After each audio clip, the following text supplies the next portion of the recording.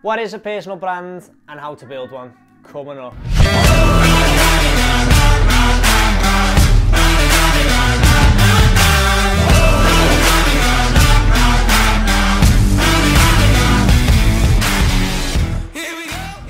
So guys, one of the most discussed topics of this year is about personal branding and how to leverage your personal brand to make money online.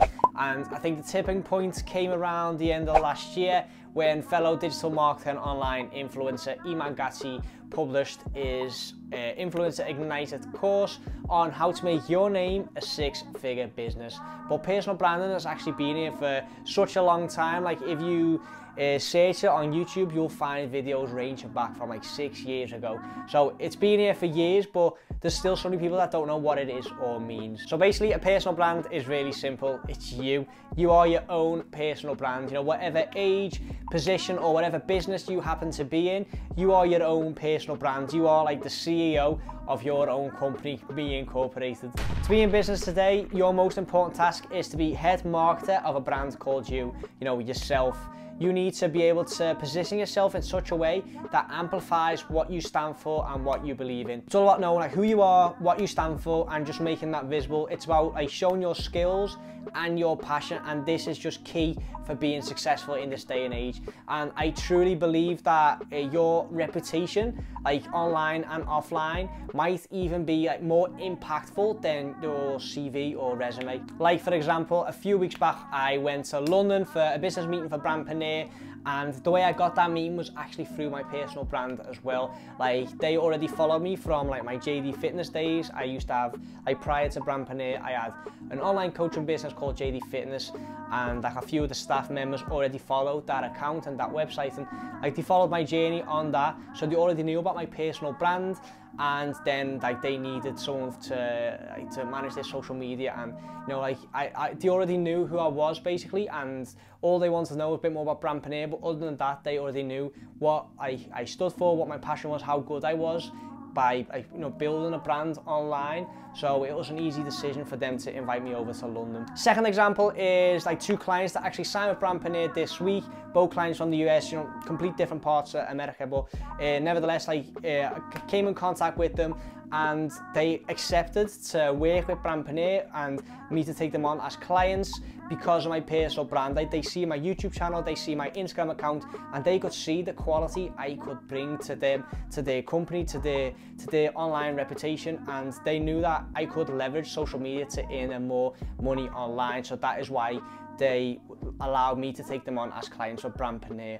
And the last example, small little example, yesterday I had a meeting with a client that already signed with me and basically they've got a few ambassadors and affiliates and you know like team members and they were all there yesterday as well and one of them actually came up to me and said like I already know you are. I already follow you on like Instagram and social media and stuff like that. Like he already knew me because of my personal brand, which is weird because like I've never met this guy before in my life and he actually knew a lot about me. He already knew that like I made the switch from fitness to, to business and like he, he, he was really enjoying the way I documented my journey, which is it's you know really cool to, to see to be honest that people actually take notice of what I'm doing. So I hope that sort of gives you an idea of what a personal brand is now for step two, how to actually grow it. I think that the first step in growing your personal brand is actually that you need to acknowledge that you've already got one. Like I hear people saying like, oh yeah, I'm gonna start a personal brand soon. No, like you've already got a personal brand. You know, your Instagram shows your personal brand like if you put photos of you going to town or you know getting up to all kinds with your mates and that is your personal brand your personal brand is what like outgoing party boy but like, you know nevertheless that is your personal brand. Step two for growing a personal brand is self-reflection. Figure out what your strengths are like where you are and what you've achieved up until now. You know like what is your story? Write it down memorize it you know practice it. You need to like master the art of storytelling and your story to be precise step three is self-assessment. So how do you perceive yourself and how do others perceive you? Or how do you want to be perceived by others?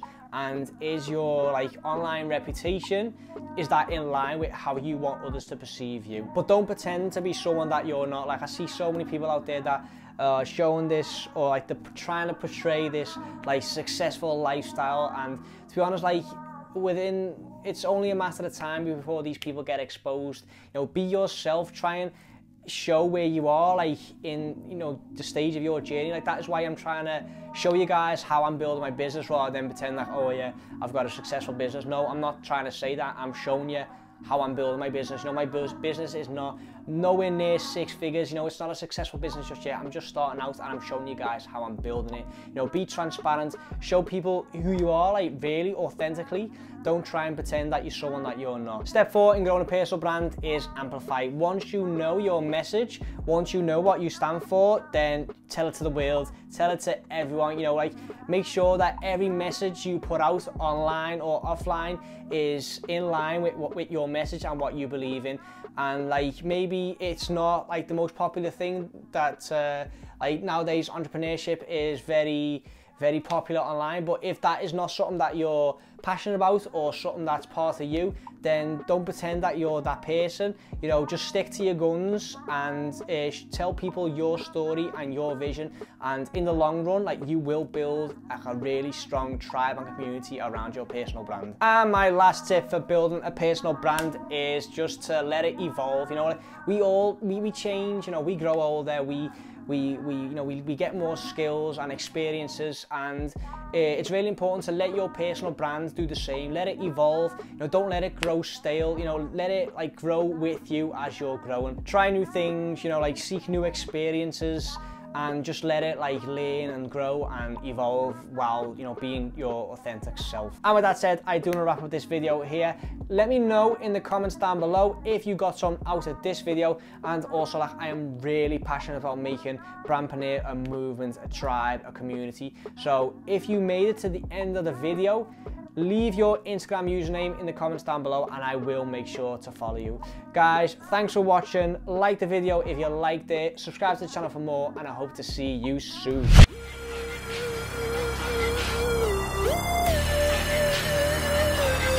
Gotta do what I gotta do.